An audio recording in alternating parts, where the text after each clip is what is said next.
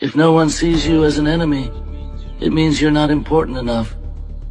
If no one sees you as a threat, it means you're not strong enough. If no one talks behind your back, it means you're not outstanding enough. If someone is taking advantage of you, it means you have value. If someone isolates you, it means you're strong enough. If someone imitates you, it means you are charismatic.